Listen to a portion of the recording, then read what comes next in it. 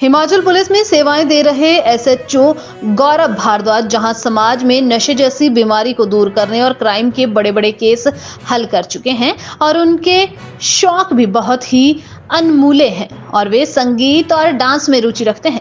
एक कार्यक्रम के दौरान उनके द्वारा किया गया भांगड़ा लोगों के दिलों में छा गया और लोग भी थिरक बिना नहीं रह सके और खूब वाहवाही लूटी।